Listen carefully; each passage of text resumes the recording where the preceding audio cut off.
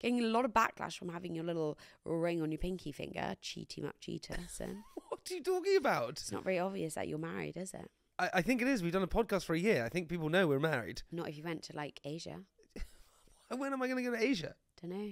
Maybe. Wait, so you think the fact that I have my It's wedding? not very obvious. it is obvious. Why did you do it? You're not a royal. No, because honey, that's what the tradition is actually to have it underneath your signet ring. Says who? Prince William. No, that is the tradition. Don't see any other husbands having it under their little finger. Yeah, loads of them do. No, they don't. The ones that cheat do. Okay, I'm, I'm going to tell everyone, guys, if anyone sees me in a bar, in a restaurant, in a club, I don't go to those things without you.